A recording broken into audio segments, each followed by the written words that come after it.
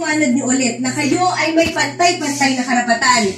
Mahirap man o mayaman, may titulo man sa lupa o wala, na kinakailangan ng lehitimong demolisyon na dapat isagawa sa ilalim ng tamang proseso. Na ang demolisyon ay dapat gawin ng may malasakit at respeto sa karapatan ng bawat pamilyang apektado. Ano naman po ang ginawa ng pinuno nang nag-demolish ng inyong lugar pagkatapos niyo po siyang pagsabihan? Ah, Di po siya nagpatinag. Tinawag niya po yung kanyang mga tauhan at sinabi umpisahan ng sirain yung mga bahay namin at unahin yung mismong bahay ko kasi nagmamarunong daw po ako. So doon na nga po nagsimula ang sabi niyong dahas at pagmamalupit ng grupo nila. Meron po ba siyang motibo para maging padalos-dalos sa paggamit ng karahasan? Gaya sa sabi ko parang kanina, kami po ay dating magkapit-bahay at magkatrabaho. Yun pong ginawa niya ay bugso po ng dati naming hiduaan nang malaman ng asawa niya na meron po siyang babae.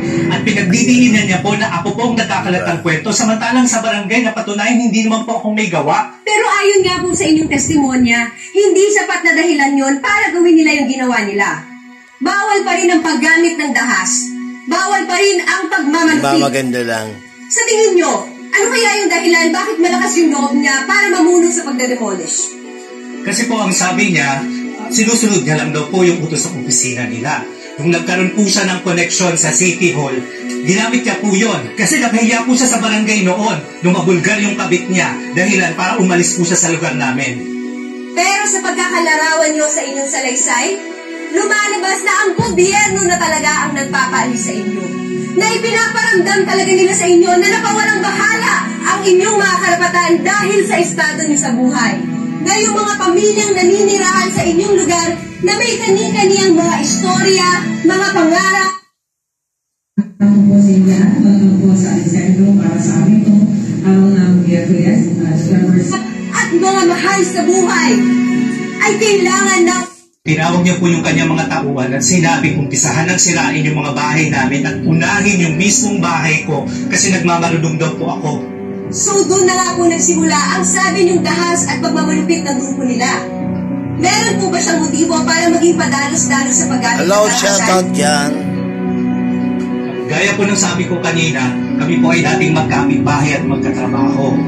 Yun pong ginawa niya ay bugso po ng dati naming hiduaan nang malaman ng asawa niya na meron po siyang babae. At pinagdidiinan niya po na ako po ang nagkakalat ng kwento samantalang sa barangay na patunayan hindi naman po akong may gawa. Pero ayon nga po sa inyong testimonya, hindi sapat na dahilan yon para gawin nila yung ginawa nila.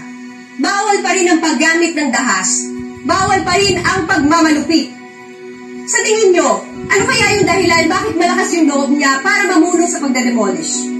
Kasi po ang sabi niya, sinusunod niya lang daw po yung utos sa opisina nila.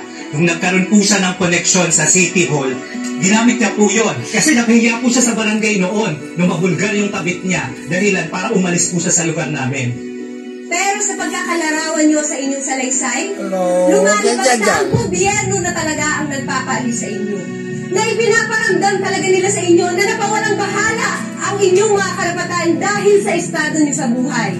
Na yung mga pamilyang naninirahan sa inyong lugar na may kani-kaniyang mga istorya, mga pangarap, at mga mahal sa buhay ay kailangan nang umalis.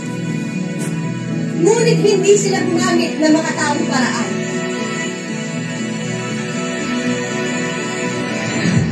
kung siya tayong abogado para sa mga voice gas na mahihirap. Nalaban tayo para sa kanila. Hindi lahat ng tama madaling gawin. Minsan, ito pa may pinakamahirap at masakit na kailangan mo. Magulo ka. Huwag mong hayaan na magagawa pa nila ito Bumaba sa ka, susunod bumaba. na biktima. At huwag mong hahayaan na yung taong masasama ay hindi mapaparusahan. Ito na ba yung sign, Lord? Ito ba yung daan na gusto mong tahakin ko?